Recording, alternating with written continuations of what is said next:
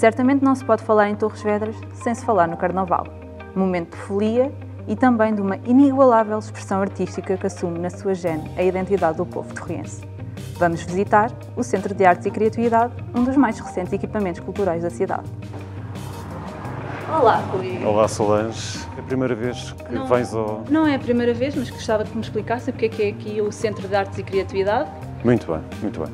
Então, o- voltando um pouco atrás, o, o que é agora o Centro de Arte e Criatividade, o CAC, CAC, como, como eu vou agora referir, eh, foi um matador municipal durante praticamente 100 anos, desde o final do século XIX até aos anos 90, sensivelmente.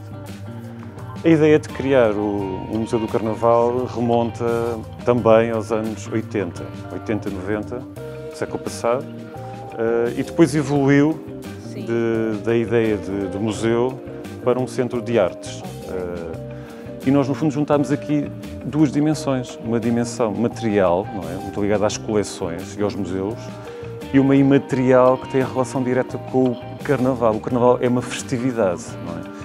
O mais rico do Carnaval, apesar de ter uma cultura patrimonial material, é sobretudo o imaterial.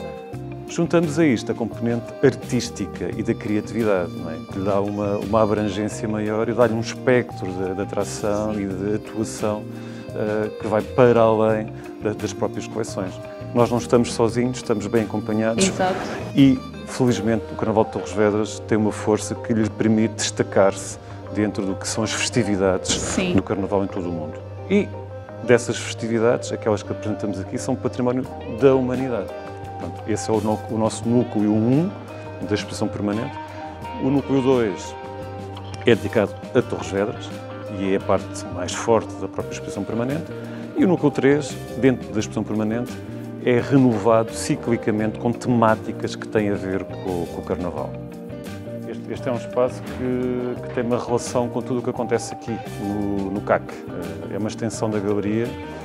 Fazemos aqui também atividades, não é? E para além disso temos uma oferta de carta eh, que é dedicada à alimentação saudável de tradição mediterrânica e tem esta maravilhosa relação com, com a praça Era isso que eu ia falar, porque esta tem uma luz lindíssima.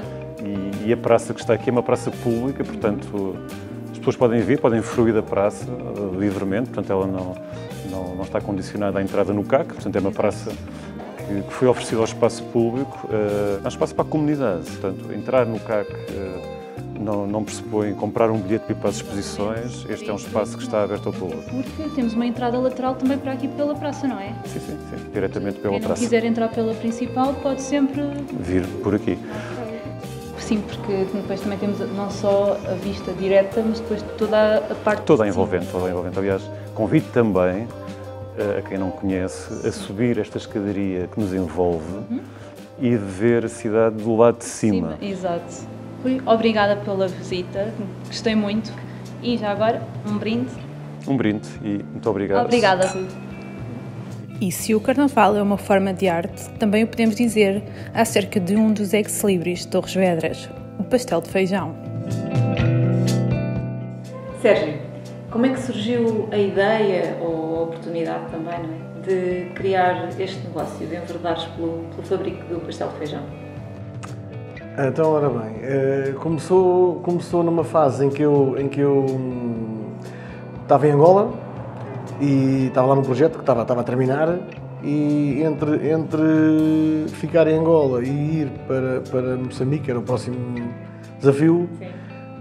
hum, a minha prima Dália desafiou-me para, para ficar cá e fazer, arrancarmos com este, com este projeto. Nós, nós quisemos, quisemos ir, ir devi- devido pronto, aos conhecimentos dela, claro, né? Hum, irmos à procura de uma receita mais antiga, hum, não muito alterada, e então conseguimos, conseguimos achá-la, que, que ela sabia, claro, eh, e adaptámos-la adaptámos um pouco, um pouco aos nossos dias.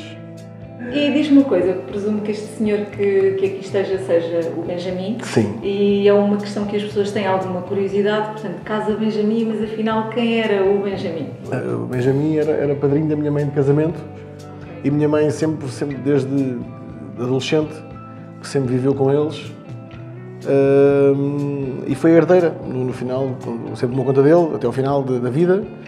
Uh, foi herdeira de, de, da casa e nós, por, por homenagem, chamámos Casa Benjamin. Pronto, foi, foi, foi, uma homenagem.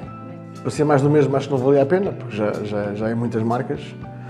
Mas uh, o meu objetivo sempre foi, sempre foi trabalhar para fora. Pronto, Sim. sempre para fora, dar, dar, a conhecer o nosso produto ao máximo de gente possível. E esse era o objetivo. E foi isso que disse à minha prima, que era, pá, se vamos começar isto é, para, é com este objetivo. Então pensámos numa, numa imagem diferente. As andorinhas representam também um pouco a Portugalidade, os azulejos, a mesma coisa. Tem ali umas coisas engraçadas, que, uns apontamentos giros, que, que, que é mesmo isso, que, que faz a diferença. Pelo menos é o que nós achamos. Claro que sim. O facto de também terem Uh, portanto, é a primeira caixa que eu conheço de pastel de feijão que tem o cuidado de ter uh, indicações em braille. Ah, sim. Achei que fazia toda a diferença. Então, na, na, na, próxima vez que fizemos as encomendas, já, já vinha com, com, com o braille. Até foi, até foi alguém da Câmara que me ajudou a fazer a, sim, a, a, sim, a escrever exatamente a tradução. As pessoas, as pessoas dão, dão, ou seja, os clientes dão, dão valor a isso. Também têm os vossos pastéis presentes numa, numa grande superfície. Sim, uh, também. E, e, que está em, em vários supermercados então, a nível nacional. 150 lojas agora, sim. Então, é zona, é zona centro, é zona centro-oeste que eles chamam. E agora também tem uma outra novidade a surgir, uh, com um ingrediente surpresa. O, o, os de coco. Os de coco. Sim, é assim, este coco também, também fizemos para. quando estávamos na, na, na, no jogo da, da TAP, quisemos um, um, produto que fosse mais fácil de, de, de executar. E acho que está, está, pelo menos as pessoas têm gostado bastante. Agora estamos a, estamos a criar a imagem e estamos a fazê-los a quinta-feira, à quinta-feira, já, já, já sai do forno. Já sai do forno. Já. Gostamos tanto de conhecer melhor estas duas formas de expressão cultural tão identitárias de Torres Vedras e que se imortalizam nas gerações atuais e vindouras. É caso para dizer haja alegria, expressão icónica do Sr. Benjamin. Não perca o próximo episódio, onde vamos conhecer e viver mais andando por cá.